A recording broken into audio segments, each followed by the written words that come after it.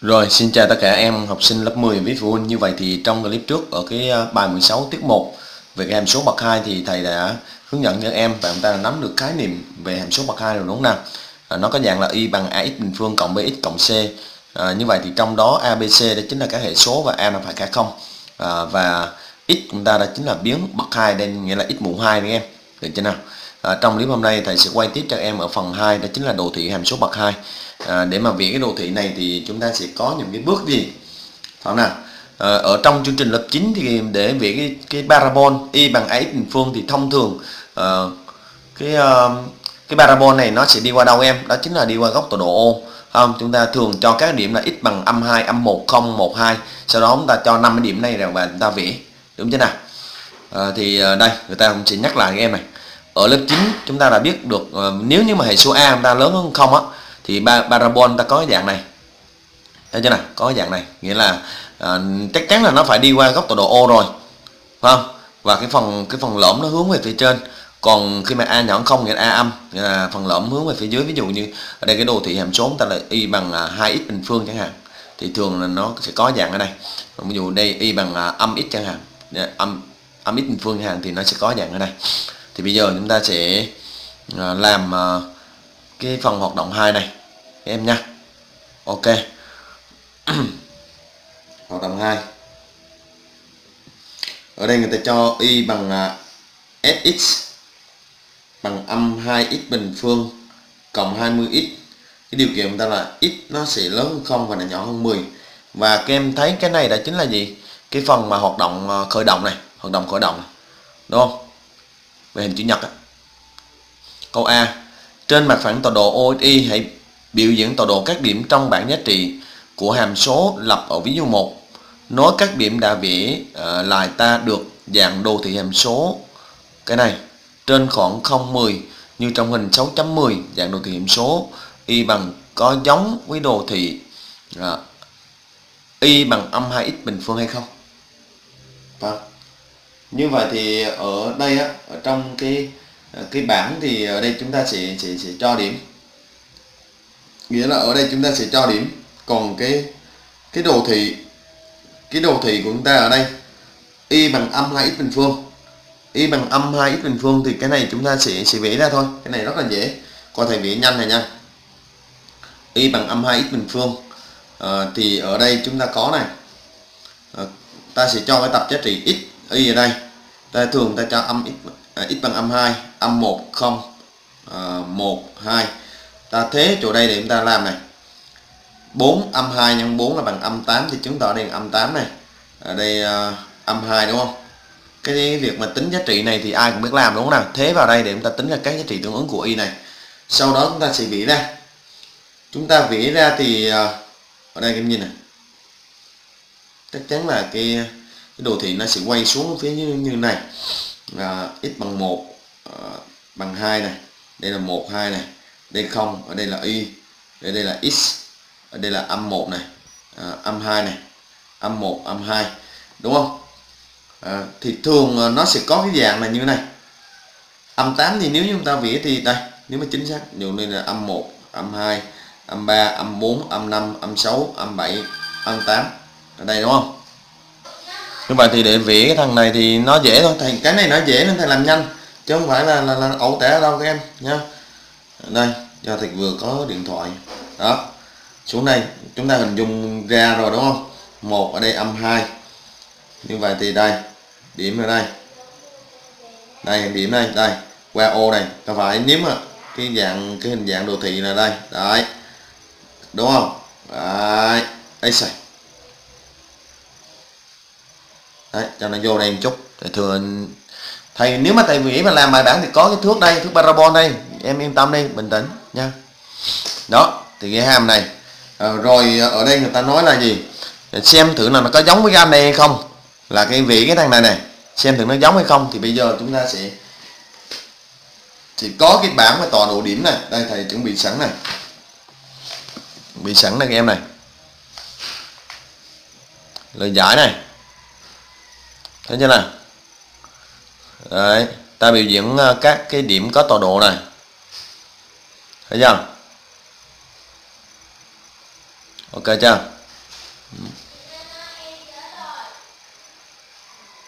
Ừ, đây là cái cái cái, uh, cái hàm cái đồ thị của hàm số y bằng âm 2x uh, ờ, bình phương cộng 20 á nha. Đây kết luận cho em luôn này. Như vậy thì cái dạng của đồ thị hàm số này nó giống với dạng đồ thị hàm số y bằng là âm 2x bình phương. Ở đây ờ, uh, em thấy cái hệ số a ở đây là âm 2 mà ở đây cũng là âm 2 các em thấy không? Ở đây ờ, cái hệ số b của cái thằng ờ, y bằng âm 2x này chắc chắn là bằng mấy bằng không còn anh đây là bằng âm ờ, là bằng 20 này hiểu chưa nào? Và câu b giải cho em luôn nè. Các em? Đó. nói chung là cơ bản là à, hướng tới đó chính là cái việc vẽ vẽ đồ thị vẽ đồ thị cho các em. Đây là những cái câu lặt vặt lặt vặt thì chúng ta cứ xem rồi chúng ta giải. Ok tiếp tục ta sẽ đi sang vào phần tiếp theo. Bây giờ chúng ta đi sang ở hoạt động 3 các em hoạt động 3 rồi chúng ta giải quyết cái hoạt động 3 em mấy cái này là lắc nhắc lắc nhắc lắc nhắc nha. À, nên là để hình thành ra cái cái cái phương pháp làm thì chúng ta phải trải qua những cái hoạt động này không? tương tự hoạt động 2 ta có dạng đồ thị một số hàm số bậc hai sau. Ở đây là y bằng x phương cộng 2 x cộng 2 này. Rồi các em nhìn thấy hình dạng này. chúng ta làm thành cái bảng này. Từ các đồ thị hàm số trên hãy nêu nội dung thay vào chấm hỏi trong bảng à, thích hợp. Hệ số a đây là một thì hệ số a đây là mấy? Ở đây là một nhớ nhớ là số dương này. Số dương thì các em thấy là cái phần lõm nó quay lên này. Còn ở đây là mấy? Đây là âm 2 này nên phần lõm nó quay xuống này. Như vậy thì đây sẽ là âm 2 này. Cái đường nào? Ở đây là quay lên thì ờ, đây bờ lõm của đồ thị này đây quay lên các em thấy nó quay lên không? Còn ở đây là gì? Quay xuống này các em kỹ cái bảng này vô nha. Quay xuống. Ờ, à, tọa độ điểm cao nhất điểm thấp nhất. Như vậy thì ở đây là là là cao nhất thấp nhất đó chính là âm 11 còn ở đây là mấy em. Đó chính là x bằng âm 3 phần 4 và y đây bằng là 17 phần 8 như vậy thì âm 3 phần 4 này 17 phần 8 này. À, trục đối xứng đây nhìn này cái trục đối xứng là trục này này đây cái đường này này. Cái đường này gọi là trục đối xứng này. Ở đây là x bằng âm 1 này còn trục đối xứng ta đây đây đây đây, đây. nhìn này đây đây đây đây. Trục đối xứng là đây. Đây chính là à, x bằng âm 3 phần 4 này. Đó nhìn vô đây là chúng ta sẽ sẽ làm được ngay. Cái em hiểu không? Xong rồi đấy. Ok. Như vậy thì à, để vẽ được cái đồ thị hàm số y bằng ax bình phương cộng bx cộng c thì chúng ta phải xác định thứ nhất là cái tọa độ đỉnh này. Cái này người ta gọi là tọa độ đỉnh này. Cái này này. Tọa độ đỉnh. Thứ hai là cái trục đối xứng này. Trục đối xứng này cái thứ ba là giao giao điểm của cái đồ thị này với, ví dụ đây là trục gì? Đây là với trục tung này, đúng không? Ví dụ giao điểm của anh này là với trục tung này, với trục tung này, với trục hoành này. Các vị trí này gọi là trục hoành này và cái vị trí này gọi là trục tung này. Em hiểu chưa? Đấy. Như vậy thì tổng quát này. Ta ghi thành phần tổng quát này vô. Ta có thể vẽ ờ, ta có thể viết hàm số bậc hai y bằng x bình phương cộng x cộng c ờ, với a khác không dưới dạng này. Đây được chưa? Như vậy thì a này như vậy delta à, về cái, cái, cái biệt thức delta này chúng ta được học rồi. Delta là bằng b bình phương trừ gì? 4ac cái này chúng ta đã biết rồi. Đúng không nào? Nói tóm lại thì chúng ta sẽ có này cái này các bước vẽ này. Ở trên đây người ta nói rất là dài dòng. Ừ, bỏ qua cái phần đấy đi. Ừ, có nhiều cái ấy, thì nói em trong sách giáo khoa nó cũng chỉ là để tham khảo thôi. Quan trọng là khi chúng ta ờ, người ta ờ, yêu cầu vẽ. Chúng ta phải biết cách trình tự xác định được cái gì. Đây, học cái này này, học là học cái này này em này đây, học cái này này. Đầu tiên, chúng ta sẽ đi, có đỉnh này đỉnh này, đỉnh y này. Đó chính là âm b trên 2a tại vì hệ số b ở đây có này. A đây có thì chúng ta thế vào đây để chúng ta xác định được hoàn độ này. Cái này là hoàn độ đỉnh này đây tung độ đỉnh này. Đó chính là âm delta chia cho 4a thì chúng ta tính delta ra, sau đó chúng ta sẽ chia cho 4a và đây có dấu trừ này trục đối xứng là đường thẳng x bằng là âm b trên 2a trục đối xứng cũng chính là cái cái gì? Đi qua cái hoàn độ hoàn độ đỉnh. Parabol này quay bờ lõm lên trên nếu giống như hồi nãy chúng ta có đấy. À, nghĩa là, là nếu mà a hệ số a ta số 1 thì cái bờ bờ lõm mà nó quay lên trên. Bờ lõm, lõm nó quay lên trên là như thế này. Còn quay xuống dưới là như thế này. Có hình ảnh như thế này luôn để chúng ta thấy. Để vẽ à, cái đường parabol y bằng ta tiến hành cái bước sau. Xác định tọa độ đỉnh này. Xác định cái này bắt buộc này bắt buộc này à, cái này thầy sẽ nói có một số bạn hay comment ở trong hai cái bộ sách kia em. Đó chính là chúng ta đi tìm cái điểm đối xứng. À, điểm à, đối xứng. Điểm đối xứng à, à, qua trục đối xứng. Qua trục đối xứng. Qua trục đối xứng của chúng ta là x bằng âm b phần 2a à, là nó là một cái điểm D hay điểm B nào đó thì nó sẽ luôn luôn có tọa độ là thứ nhất là cái hoành là nó giống nhau với đã. Hoàn giống nhau nhưng mà nó sẽ giảm một nửa em. Ở đây là âm B trên 2A thì đây là âm B trên A và tung độ nó chính là C nha. Cái này các em comment thầy liên tục này các em này. Thực sự em là như vậy. Cái này này. Đó. Ok. Giấy tờ gì rốt thì lê này. hiểu nào? Xác định uh, tọa độ uh, các giao điểm của parabol với trục tung. Uh, nếu mà khi mà xác định uh, với uh, trục tung nghĩa là cho hoành bằng không nghĩa là ở đây khi mà xác định với trục tung nghĩa là x bằng không này chúng ta để tìm ra y này. Với trục hoành nghĩa là y bằng không này suy ra x này. Cái này à, uh, x bằng không suy ra y này. Và cái này y bằng không thì chúng ta suy ra x nhóm là như vậy. Nếu mà tìm giao điểm của cái parabol này với trục tung thì chúng ta sẽ cho x bằng không. X bằng không chứng tỏ y sẽ bằng mấy? Y bằng c này. Còn với trục hoành thì chúng ta sẽ cho y bằng không. Y bằng không thì nó có các trường hợp ví dụ như là có hai nghiệm phân biệt hoặc là vô nghiệm hoặc là có nghiệm kép. Nhóm là như vậy nếu có nghiệm kép thì nó sẽ tiếp xúc. Còn vô nghiệm thì nó sẽ nằm hẳn lên phía trên hoặc nằm hẳn lên xuống phía dưới. Còn nếu có hai nghiệm phân biệt thì nó sẽ cách ở trục hoành có hai nghiệm phân biệt. Có ba trường hợp như vậy các em nha. Đó. Vị parabol. Rồi tiến vào vào các trường hợp. Cái cái cái bộ sách hình như cái bộ sách trong trời em. Người ta vị ờ, làm rất là là là là là, là kỹ luôn ở phần này anh em ạ rồi bây giờ chúng ta đi sang ví dụ 2 này. Vĩ parabol này. Em nhìn này.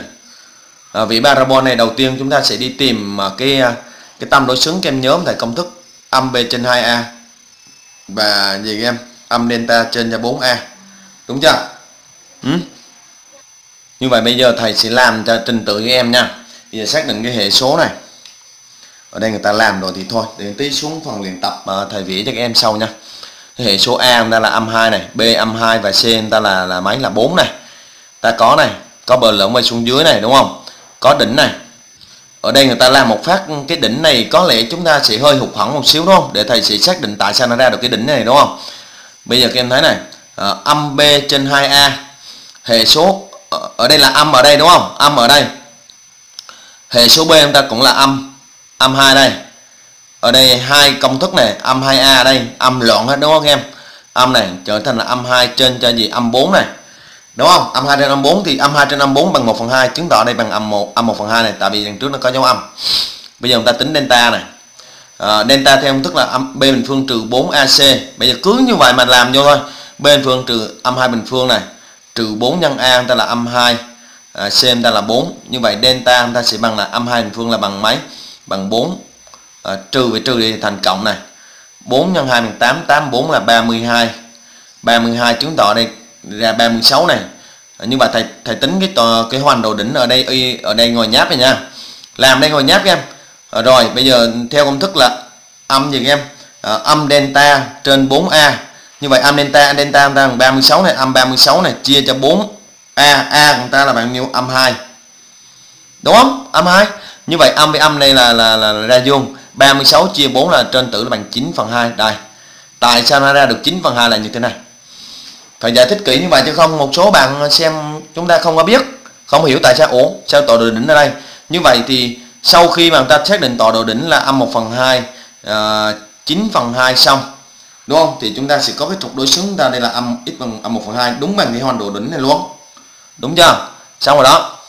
Rồi tới đây hiểu đúng không? Giao điểm của đồ thị với trục OI là cái này. Biết tại sao ra cái điểm này không? À, trục OI thì thành nó là cái x bằng không.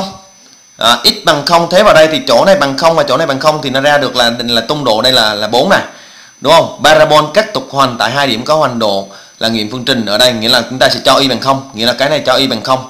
Y bằng không để cho cái này bằng không để chúng ta dùng máy tính ta bấm ra là x bằng 1 và x bằng âm 2 nghĩa là đây chắc chắn nó sẽ cắt trục hoành tại hai cái điểm tại hoành độ ở đây em hiểu chưa nếu nó có có những trường hợp có hai trường hợp còn lại ví dụ như có hai nghiệm phân biệt thì nó cắt hai điểm hai trục hoành nhưng mà có nghiệm kép có nghiệm kép thì nó sẽ tiếp xúc nó sẽ tiếp xúc các em hiểu nào còn nếu như mà nó vô nghiệm thì nó nằm hẳn lên phía trên luôn đó hoặc là nằm hẳn xuống phía dưới đấy kiểu như vậy để vẽ đồ thị chính xác hơn ta có thể lấy thêm điểm đối xứng của a đây đây đây đây đây đây đây đây đây đây đây đây đây đây hồi nãy thầy đã nói đúng không ở đây người ta sử dụng là cái điểm B tại sao điểm B?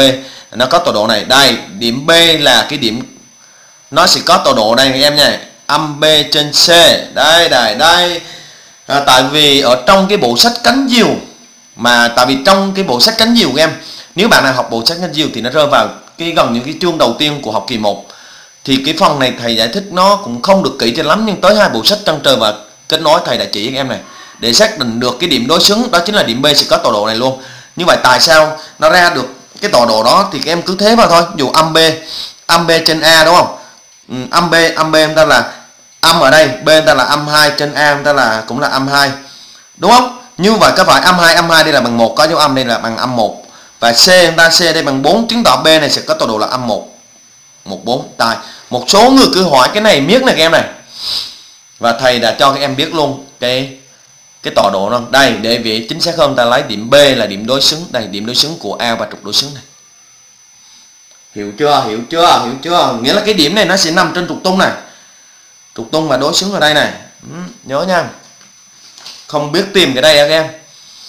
Đó cái phần này rất là dễ quên này trừ b trên ac này. Được chưa?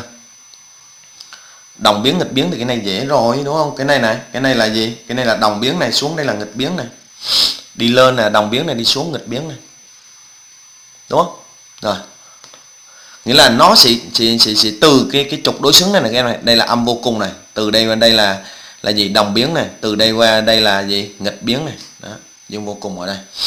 Hiểu chưa hiểu chưa hiểu chưa hiểu chưa? Giá trị lớn nhất giá trị lớn nhất. Giá trị lớn nhất thì chắc chắn nó nằm ở trên đây rồi này. Đây giá trị lớn nhất này. Khi x chúng ta là bằng bao nhiêu? 1 phần 2 này. Chính là cái tọa độ đỉnh luôn em rồi bây giờ chúng ta sẽ đi sang ở cái luyện tập 2 nha. Rồi bây giờ chúng ta đi sang luyện tập 2 này vẽ parabol. Đây từ đó tìm khoảng đồng biến nghịch biến giá trị. Rồi ok thầy sẽ làm cho các em phần này nha. À, bước đầu tiên thầy sẽ, sẽ, sẽ làm mà theo cái kiểu đó chính là gì nè? À, thầy sẽ sẽ nói các cái cái điểm các điểm tí nữa. Thầy sẽ đưa cái bài giải à, à, chi tiết cho các em. Rồi bây giờ chúng ta xác định cái hệ số A của nó trước bây giờ cái hệ số A, đâu rồi nhỉ? Cái hệ số A của chúng ta ở đây là bằng mấy? Bằng 3 chứng tỏ lớn không? Nên là bờ lõm nó quay lên trên hay là quay xuống dưới? Bờ lõm là lõm là quay lên trên. Quay lên trên thì chúng ta hình dung thì nó sẽ như thế này này. Cái này thầy giảng gần như ngoài nháp tí nữa, bài giảng chi tiết thầy sẽ sẽ đưa cho các em xem. Thì cái tọa độ đỉnh này bây giờ các em nhìn này. Cái tọa độ đỉnh y của chúng ta sẽ bằng là, phải thuộc công thức nha các em nhé âm b trên 2a và đây là âm delta trên 4a bắt buộc phải thuộc công thức thì bây giờ chúng ta sẽ tìm cái này trước. Như vậy âm b trên 2a âm b trên 2a thì b chúng ta là bằng âm 10 cái âm này cứ để đó. Âm 10 của b cứ ghi trên đây. 2a nghĩa là 3 à, 2 này a chúng ta là 3 đúng không? Đúng chưa? Như vậy thì âm với âm đây là ra dương 10 à, phần 6 rút gọn đây chia 2 đây chia 2 thì còn 5 phần 3 đó còn à, delta uh, delta thì bây giờ bắt buộc phải tính ra. Delta bằng uh, b bình phương trừ 4 ac bắt buộc cái này phải thuộc âm b bình uh, b bình phương là bằng âm 10 bình phương này uh, trừ 4 nhân a là 3 nhân cho c là 7 bấm máy tính luôn. Uh, 10 bình phương. Tại vì âm 10 bình phương thì chúng chính là bằng 10 bình phương luôn. Đúng không? Trừ cho 4 nhân 3 nhân 7 16 cái này bằng 16 nè. Bằng 16 thì chứng tỏ thằng này sẽ có hai nghiệm phân biệt này, đúng không? Tại vì delta này lớn hơn không thì chứng tỏ nó sẽ kết trục hoành tại hai điểm phân biệt này, đúng chưa? Như vậy thì ở đây chúng ta có là âm delta trên 4a như vậy thì ra âm 16 chia cho 4 nhân a. A chúng ta, đây là bằng 3 như vậy âm 16 phần ờ, 12 ở đây chia 4 đây, chia 4 thì bằng là âm 4 phần, âm 4 phần 3 như vậy tọa độ đỉnh tọa độ đỉnh y chúng ta sẽ là gì? À, 5 phần 3 với lại là âm 4 phần 3 xong. Tí thầy đưa ra là tại sao như thế này thì cái những cái phần này là thầy làm hồi nháp là chúng ta đã nắm rồi. Không có ý kiến nữa đúng không? Bây giờ trục đối xứng là là bằng đúng cái cái gì? Trục đối xứng. À, trục đối xứng này x này sẽ bằng chính bằng 5 phần 3 này luôn nè. Rồi bây giờ thầy sẽ đi tìm mà giao điểm với trục tung. Giao với uh, trục uh, trục tung. Giao với trục tung nghĩa là là x bằng mấy x bằng không. Thì từ đây chúng ta suy ra y bằng mấy x bằng không x bằng không ta thế cho đây. Thì thằng này bằng không thằng này bằng không thì y này sẽ bằng 7 nghĩa là điểm A chúng ta hiện tại là 07 này. Tí nữa chúng ta đi tìm cái điểm đối xứng tìm cái điểm đối xứng của A qua cái trục đối xứng này. Em hiểu nào? À, bây giờ giao với trục hoành. Giao với trục hoành. Giao trục hoành nghĩa là y bằng không. Chúng ta suy ra x. Ở đây hai cái nghiệm trong đó. Tại vì khi đó chúng ta tính ra đây là bằng 16 chứng tỏ nó có hai nghiệm phân biệt. Chứng tỏ bây giờ người ta bấm máy tính này thầy bấm thầy làm rất chậm đúng không? Thầy làm cái nhanh em. Menu 9 uh, 2 phương trình bấm hai luôn. Ta bấm là 3x bình phương. Đúng không? Ờ, à, 3 này. À, âm 10 này. 7 này. 7 phần 3 và bằng 1 nghĩa là ở đây 7 phần 3 với lại 1 chứng tỏ ở đây chúng ta có hai hai điểm. Ví dụ đây điểm C là 7 phần 3 1 à, 0 và điểm D đây là 1 0 đúng chưa? Bây giờ chúng ta sẽ đi tìm cái điểm B, nghĩa là cái điểm đối xứng. Cái điểm đối xứng em hiểu không? Đây này, nó giống như đây này đây này. Điểm B, đối xứng với A và trục đối xứng. Cái điểm B, đối xứng với A qua cái trục đối xứng như vậy B người ta luôn luôn nhớ thầy công thức đó chính là âm B trên AC tọa độ này. Phải nhớ những tọa độ này. Như vậy B này nó sẽ là gì? Ờ, âm B trên A. Ở đây nè. Âm B B người ta này. B người ta là âm 10 chúng ta là âm 10 âm 10 mà đây nó có cái âm đây nữa này. A người ta là 3 C người ta đây là 7 đúng không? Thì cái tương ứng ở đây nó sẽ là 10 phần 3 7 này như vậy người ta đã có đầy đủ hết rồi thì bây giờ người ta chỉ việc vẽ thôi. Hiểu không? Hiểu chưa? Hiểu chưa? Chưa? Bây giờ thầy sẽ vẽ cho em xem nha. Xem này. Đây đây đây, đây. nó quay lên nó quay lên thì chứng tỏ là chúng ta phải phải phải ở dưới đây thấp thôi còn phía trên thì nó cao. Được không nào? Đây là y ở đây là không ở đây là x bước đầu tiên chúng ta sẽ đi tìm tọa độ đỉnh trước. Tọa đỉnh là 5 phần 3 với 4 phần 3 đúng không? 5 phần 3 với lại à, 4 phần 3 như vậy thì trong à, một phần này chúng ta chia làm 5 phần. Ta lấy 5 phần 3 Đó 5 phần 3 là lớn hơn chứ nó nằm trong khoảng 1 2 ở đây là 1 và đây là 2 đúng không? Trong khoảng này là đây 3 phần 3 đây 4 phần 3 đây 5 phần 3 nằm ở đây này. Đây 5 phần 3 này đúng chưa? À, âm 4 phần 3 ở đây là âm 3 phần 3 là âm 1 đây âm 2 âm 4 phần 3 là nằm ở đây. Như vậy thì tọa độ đỉnh nó, nó như sau.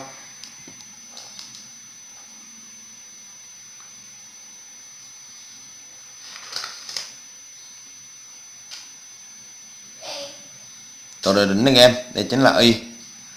Đúng chưa? Tọa độ đỉnh này. À, cái trục đối xứng của chúng ta là đây. X bằng à, đây chúng ta vẽ bằng à, nét đứt em nha trục đối xứng x của chúng ta đây. Thầy sẽ làm một bài cho nó cụ thể rồi cứ thế mà em làm. Đây là bằng 5 phần 3 này. Rồi, xong. Bây giờ chúng ta sẽ lấy, nhìn ở đây.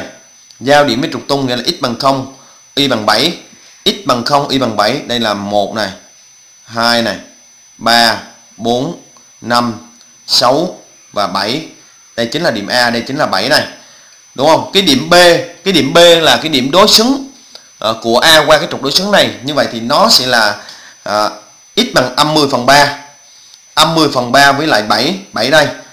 Đây là 5 phần 3 đúng không? Thầy nói 10 phần 3 nhé. Đây 5 phần 3 thì uh, đây 2 ở đây 3 đúng không? 2 3 thì chứng tỏ là nó nằm 10 phần 3 là nằm phía bên đây. Đây nằm 10 phần 3 nó tầm khoảng 3,3 rồi chúng ta xác định điểm B. Khi chúng ta biết làm thì nó dễ lắm em nó cực kỳ dễ luôn. Nó có đầy đủ rồi thì chúng ta vì cái parabol này là cực kỳ chính xác luôn. Đi đưa lên song song này. Đây. Thầy nói em cái cái điểm đối xứng đấy là thầy nói cả một vấn đề đó. Rồi bây giờ giao điểm với ờ, CD là trục hoành 7 phần 3 với là 1 1 ở đây là là D này. Đúng không? 7 phần 3 7 phần 3 thì nó nằm ở, ở, ở chỗ nào? Ở chỗ đây đúng không? Đây. Đây chính là 7 phần 3 rồi chứng tỏ cái parabol nó sẽ đi theo đường này này. Đấy lên đây. Rồi bây giờ thầy sẽ dùng cái thước. Bây giờ thầy vẽ cái chỗ cong của cái chỗ cong ở đây trước. Của tọa độ đỉnh này trước em. Đó giờ ảnh, ảnh phán lên đây đúng không? Đó đẹp chưa?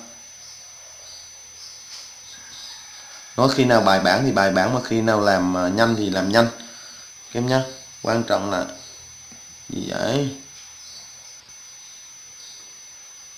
Em không có thước này thì chúng ta mua cái tre em à, làm cái cái cái cái thanh tre đấy. Đầy đủ rồi này, các bước luôn này. Đó. Thấy chưa?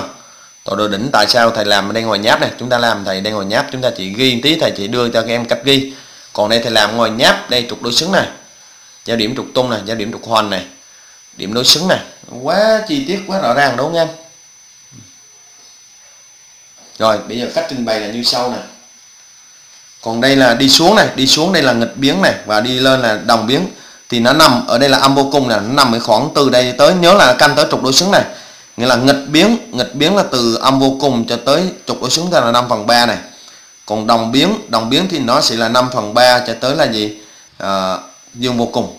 À, cái đoạn từ đây ra đây là là đồng biến này. Hiểu chưa? Đây còn cách trình bày này chi tiết này.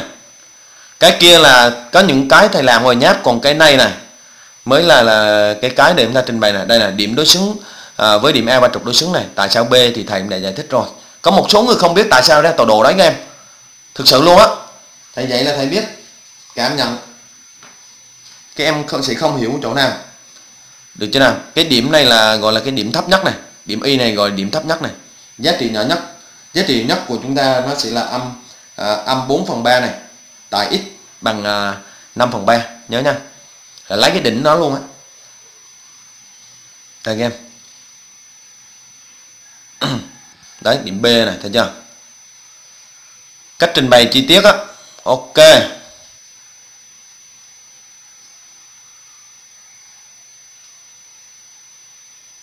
Được chưa nào? Rồi. Xong nha. Còn đấy thì không có gì bàn cãi nữa. Quan trọng là làm một ví dụ đó là à, chúng ta đã hiểu rồi á, phải không? Bây giờ chúng ta sẽ đi sang phần vận dụng. Bạn nam đứng dưới chân cầu à, vượt ba tầng ở núi à, giao ngã ba Huế thuộc thành phố Đà Nẵng để ngắm cầu vượt. Biết rằng trụ tháp có dạng parabol. À, khoảng cách giữa hai chân trụ. Khoảng cách giữa hai chân trụ này. Khoảng cách giữa hai chân trụ ở đây là bao nhiêu? 27 mét này. Chiều cao của trụ tháp tính từ điểm trên mặt đất. Cách chân trụ à, tháp là 2,26 mét là 20 mét hãy giúp bạn nam ước đường độ cao của đỉnh trụ tháp so mặt đất. Nghĩa là tính cái này này xuống dưới đây đúng không? Thì ở đây người ta nói là à, nếu như mà tính từ điểm cách cái chân trụ này 2,6 mét là tầm này dù cho 2,6 26 mét đi thì cái chiều cao tương ứng đây là 20 mét. Đó ý người ta nói như vậy. Như vậy ở đây người ta hướng dẫn này chọn hình trục tự đồ sao cho gì đó đây. Cái hàm số parabol này các em này. Nha. Như vậy thì ở đây nó có dạng như này. Như vậy thì chúng ta thấy rằng là là, là gì các em bây giờ chúng ta sẽ xác định cái tọa độ điểm trước. Cái tọa độ điểm nếu chúng ta chọn hệ trục tọa độ như sau này. Nếu chúng ta gắn cái hệ trục tọa độ đây mà nó đi qua đây đây chính là y và đây chính là là x thì chỗ này đó chính là gì? Đây chính là không. Đúng không? Thì parabol nó sẽ đi theo cái dạng này. Đi theo cái dạng này.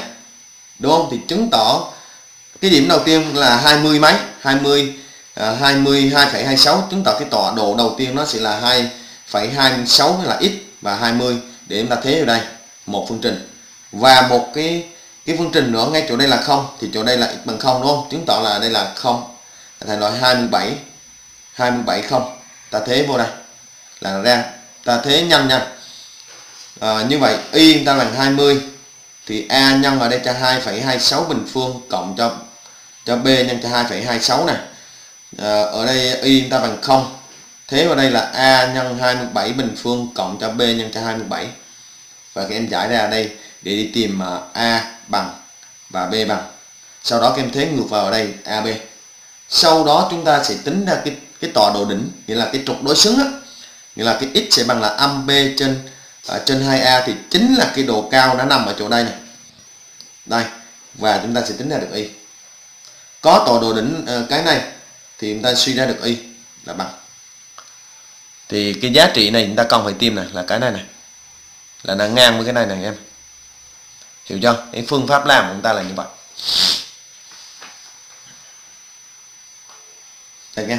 Thầy ờ, đã hướng dẫn sẵn này. Chọn ờ, hệ trục tọa độ như hình vẽ này ừ. ok chưa?